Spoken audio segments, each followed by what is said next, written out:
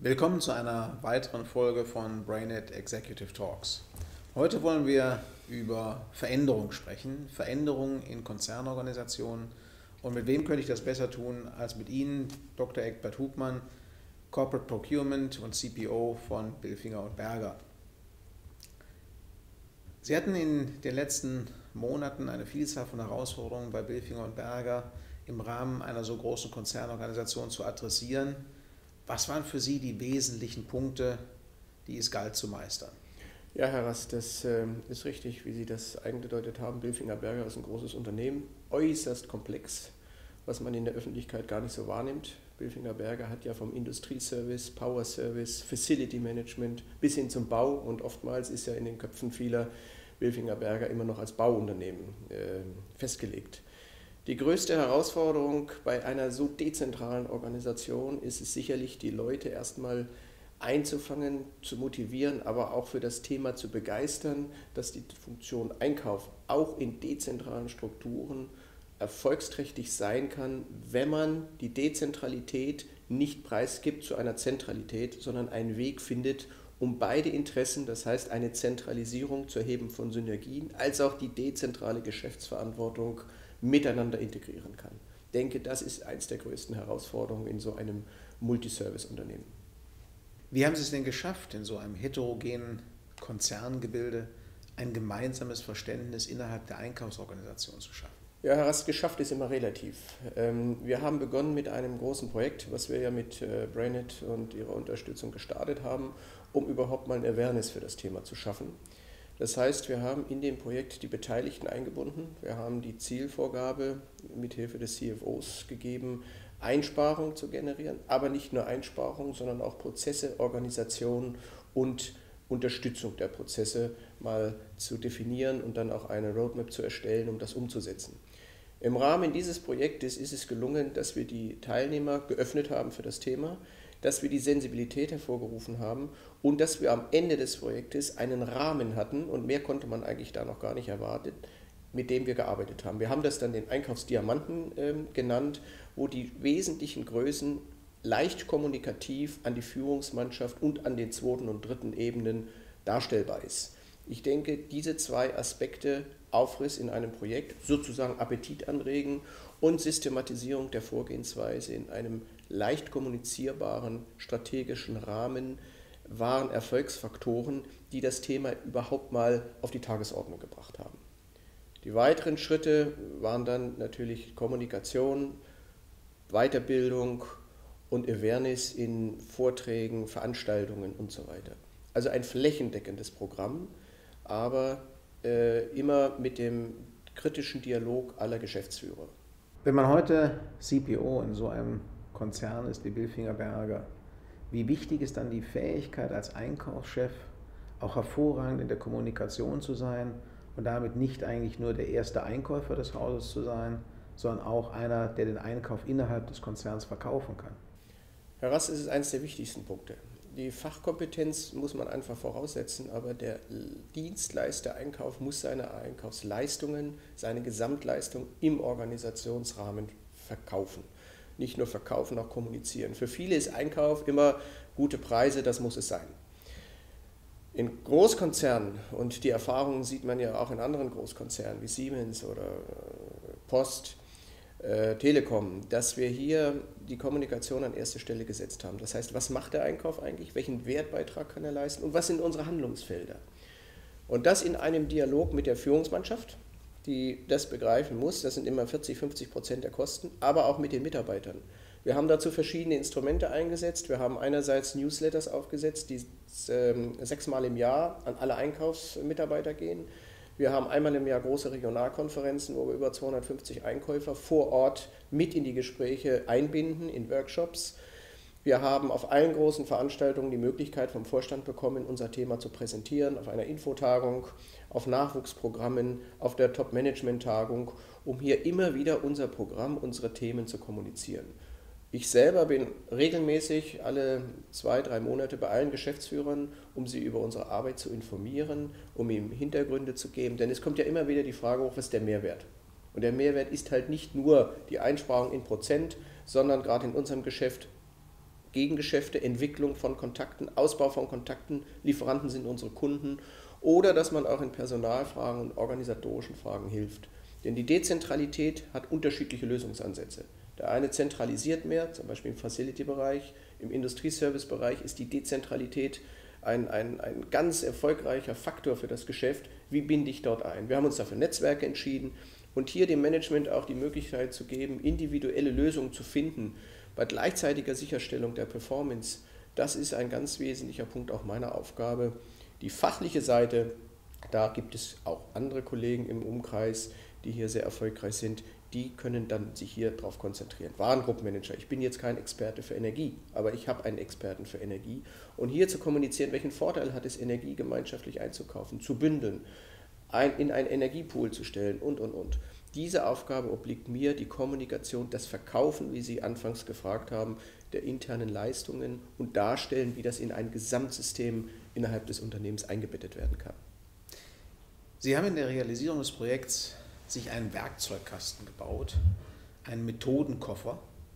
Und sie haben diesem Methodenkoffer die Überschrift der Diamant gegeben. Dieser wurde, das durfte ich dann erleben, ja zu, einem, zu einer Metapher, zu einem Bild für die Leistungsstärke des neuen Einkaufs. Was hat den Diamanten bei Bilfinger Berger ausgezeichnet? Was hat ihn charakterisiert? Die Frage ist, Herr Rast, ist ein geschliffener oder ungeschliffener Diamant in welcher Härte? Aber das sollen andere beurteilen. Ähm, warum haben wir das so gewählt? Ähm, der Einkauf hat ja einen großen Werkzeugkasten. Lieferantenmanagement, Warengruppenmanagement und, und, und. Und wir haben auch hier, das war die Vorfrage zur Kommunikation, ein einfaches Instrument, eine einfache Metapher gesucht, um diese Thematik so darzustellen, dass sie jeder versteht. Ein Diamant besteht aus verschiedenen Facetten. Ein Diamant ist werthaltig, ein Diamant strahlt. Meine Frage ist ja geschliffen, ungeschliffen. Ein Diamant äh, scheint, wenn man ihn gegen das Licht hält, in sehr unterschiedlichen Farben und Facetten. Das ist der Einkauf. Deswegen haben wir uns dieses, diese, dieses Symbol gewählt und es setzt sich zusammen aus genau den Themen, die für unser Geschäft von hoher Wichtigkeit sind. In der Mitte, sagen wir immer, ist die Fachaufsicht. Synergien ohne eine starke Governance funktionieren nicht. Gerade in großen Konzernen brauche ich die Governance, brauche ich die Fachaufsicht, um hier die Themen überhaupt zu steuern. Ich vergleiche das immer gern mit der Eisenbahn.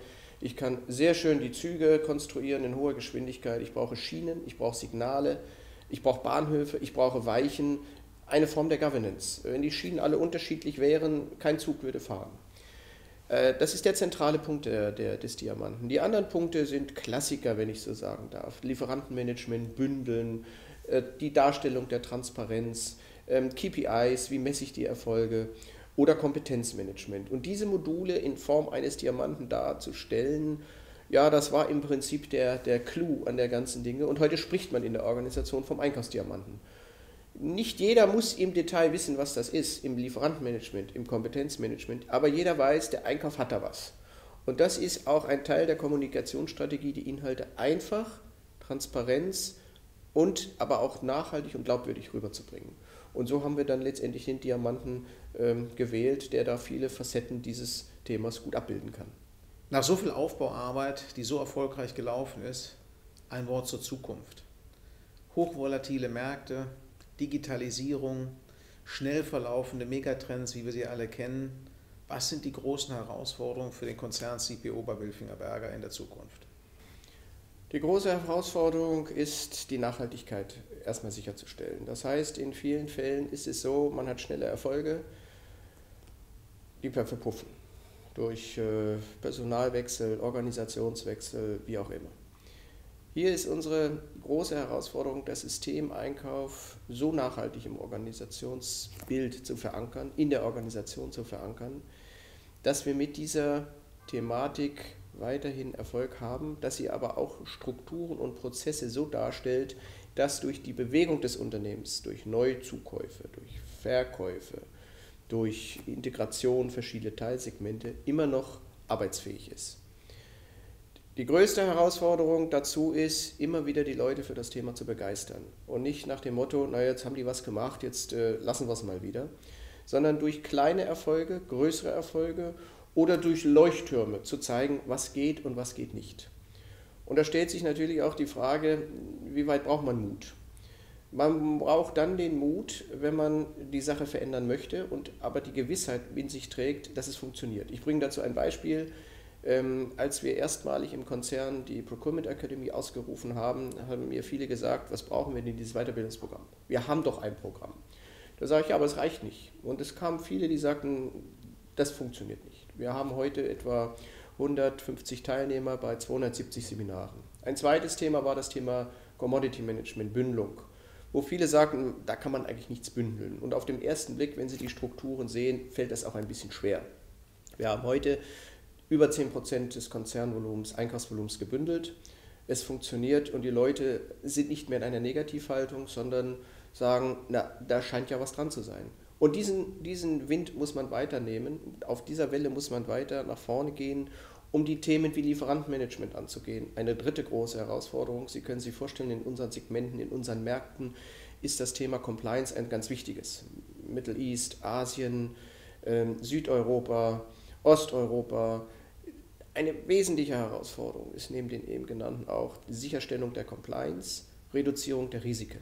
Wir haben nicht unbedingt das Risiko, dass wir jetzt auf Monolieferantenstrukturen setzen. Da bin ich auch kein Freund von. Es gibt ja immer wieder Programme, Lieferantenreduzierung und plötzlich hat man einen tollen Lieferanten mit großem Volumen, mit erheblichen Risiken. Wir haben eine gute, eine breite Lieferantenbasis, wir haben eine gute Basis für Subcontractors, aber wir müssen die Compliance sicherstellen. Das Schlimmste, was passieren kann in der Zukunft, dass ähm, Kunden äh, uns, ähm, sage ich mal, etwas negativ bewerten aufgrund nicht rechtmäßiger Beziehungen zu Lieferanten. Wir müssen unsere Lieferanten bewerten, wir müssen unsere Lieferanten entwickeln, wir müssen die Compliance-Themen in die Organisationsprozesse integrieren. Das sehe ich als ganz große Herausforderung, weil die neue Kommunikationstechnik erlaubt es, an irgendeinem Ort auf dieser Welt sehr schnell Fotos zu machen, sehr schnell zu reagieren und kommunikativ Fehlverhalten ins Netz oder wo auch immer reinzustellen. Das müssen wir vermeiden. Insofern sehe ich das Thema Compliance, Sicherstellung der Sustainability als weitere ganz große Herausforderung für unser Geschäft. Ein vierter Punkt, Herr Rast, der gerade in der großen äh, Breite unseres Geschäftes von hoher Wichtigkeit ist, ist das Thema Gegengeschäfte. Das heißt, wir haben viele Lieferanten, die auch unsere Kunden sind. Und der Einkauf hat hier eine sehr gute Möglichkeit, Geschäftskontakte auch anzubahnen. Wenn wir einen großen Lieferanten haben, ist die Frage, wer macht sein Facility Management? Wer baut seine Bürogebäude? Wer macht das Betreiben seiner Industriestrukturen? Wer macht das Maintenance? Oder wenn er gar einen, einen, ein, ein Kraftwerksunternehmen ist, wer baut in seine Kraftwerke, wer renoviert in seine, innoviert in seine Kraftwerke? Hier, denke ich, hat der Einkauf äh, bei Billfinger Berger auch einen Beitrag, einen Wertbeitrag zu leisten, um zu prüfen, können unsere Lieferanten nicht unsere Kunden sein oder können unsere Lieferanten nicht mehr von uns beziehen als in der Vergangenheit. Ich denke, das ist auch nochmal eine große Herausforderung, die wir noch systematisch angehen können in der Zukunft. Herr Dr. Hubmann, wie immer habe ich aus den Gesprächen mit Ihnen, so auch heute, viel gelernt. Bedanke mich ganz recht herzlich für Ihre Zeit, für Brad äh, Executive Talks und bedanke mich bei Ihnen. Gerne, vielen Dank.